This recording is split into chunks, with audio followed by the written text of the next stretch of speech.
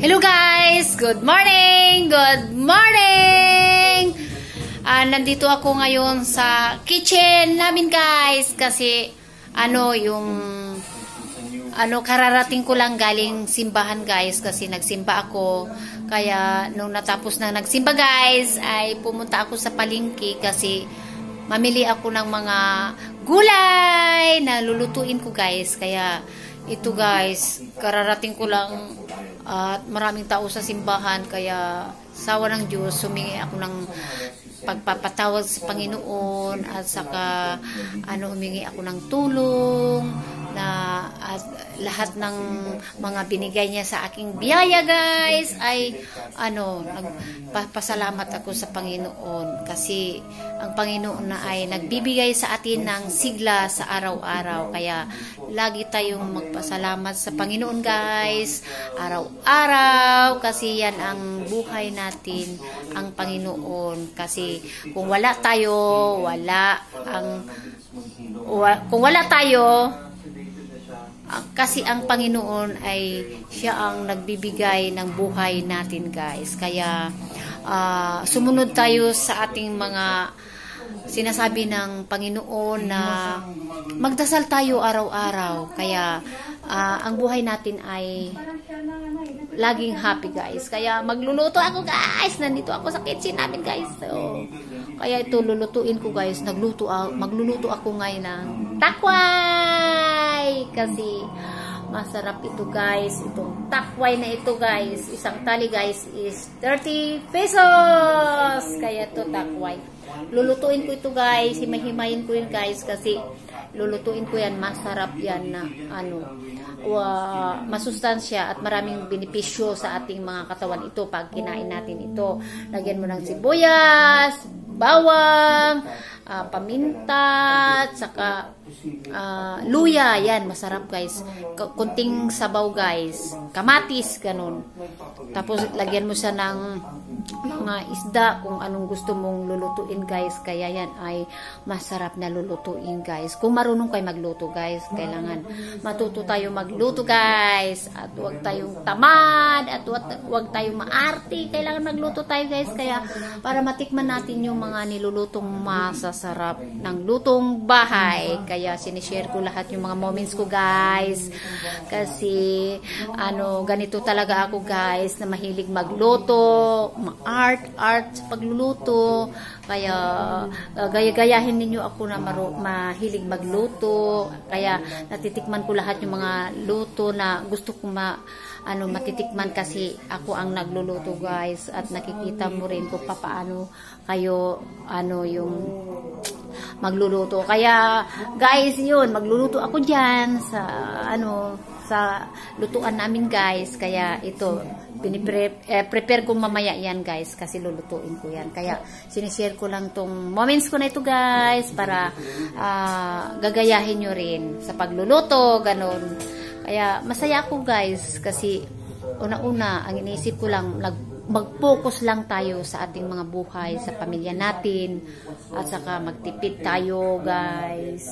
Araw-araw tayo magpalingki guys kasi uh, mas masarap yung maagang magpalingki dahil uh, yung, yung mga pagkain sa palingki guys ay press na press. Maaga kayo magpalingki. Kaya bibili kayo ng mga prutas, saging, yan importante sa ating katayan para makinis yung mga balat natin, yan. Yan, unahin natin yan, ganun.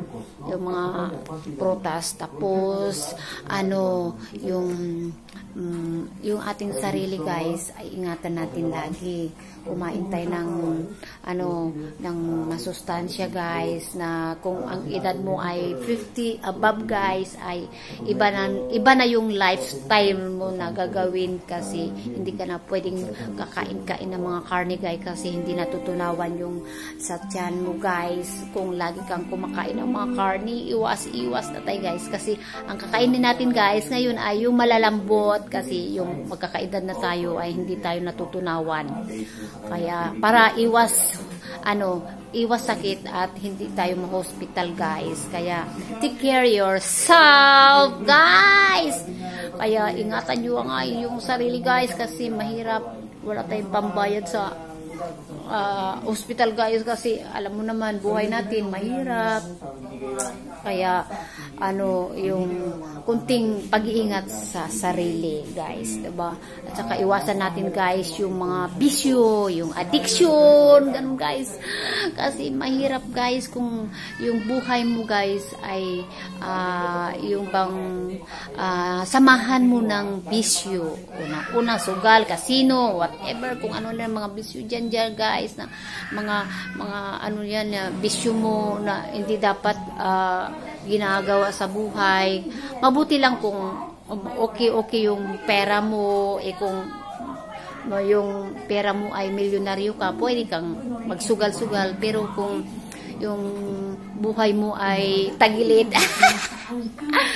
at kunti lang yung sahod mo guys, ipapano na kung ipagsabay-sabayin mo na yung yung bisyo, kaya iwas-iwas tayo sa mga addiction, sa buhay na ganyan na mga lifestyle, iwasan natin guys. Kaya okay guys, kaya yung yung mga ignorance natin guys ay dapat ano itama natin. Magiging totoo tayo sa buhay na hindi tayo ignorante sa mga lahat ng bagay na nakikita diyan kailangan yung utak ang gamitin guys. Kasi ayan ay ah, yung yun ay ah, gumaganda yung iyong pananaw sa buhay kung ang utak ay gagamitin mo para sa kabutihan ng iyong buhay guys. At, at lagi kang magdasal lagi kang ah, magdasal sa Panginoon at magbasa ng Bible.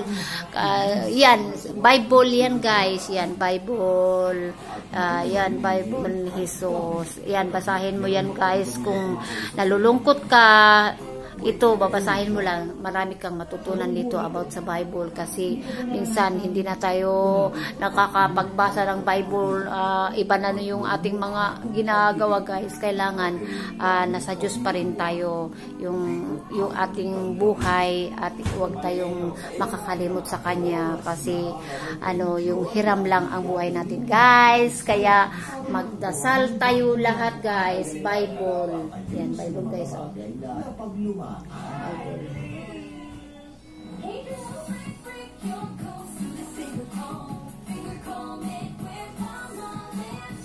Yan. Yan, Bible. Yan, binabasa ko yan guys pag nag-iisa ako, nalulungkot. Yan, kasi lahat, sana may mga alam kayo dyan na natutunan, ano yung, ano, yung verse, ganon. John 3.16, For God so loved the world, that He gives His only begotten Son, that whoever believeth in Him should not perish, but have not everlasting life. Ganon guys. Kaya, ganyan, magbasa-basa tayo minsan sa Bible, kasi yan ay nakakatulong sa ating mga, ah, ano, yung inspired, sa ating mga, ah, ating sarili, nakakaluwag, masaya, yan ang importante guys, magiging masaya tayo masaya tayo guys dahil ang buhay natin ay nag-iisa lang ingatan natin tapos kailangan yung mga ano, yung mga pera natin, iipunin natin kasi mahirap, mahirap. Huwag matigas yung ulo, guys. Kasi kung matigas ang ulo natin, guys, eh, walang mangyayari sa buhay natin. Minsan makinig tayo sa mga mga ano yung yung mga matatilino na nagkakaroon ng successful sa buhay, guys, ay ano yung makinig tayo guys kasi nakakatulong sa atin na hindi ta yung yung buhay natin going straight guys. Yan. Marami silang experience sa buhay na natutunan kailangan sa buhay guys ay maraming kaalaman oo kakayanan kahit konti lang yung mga ano yung skill mo guys kailangan matuto ka rin kahit papaano para magiging masaya ang ating buhay. Like subscribe and like my video Thank you guys sa panunod nito. Sana nagustuhan nyo at, at mga rami akong video guys dyan. Panoorin nyo at, at nadadagdag sa inyong mga halaman. Kaya um, ano, isishare ko sa inyo.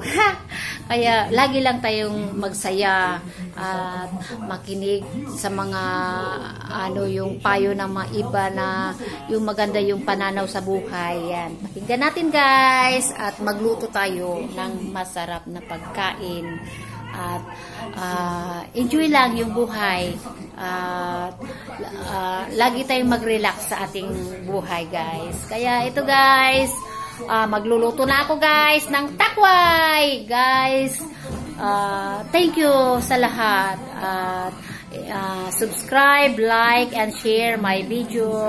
Thank you sa lahat. Thank you. Marami pa kuhugasan, guys. Ha? Walang galing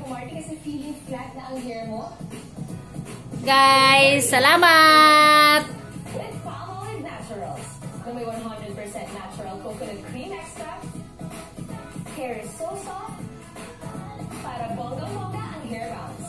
Bounce dito, bounce doon, bounce na kahit saan. Salamat!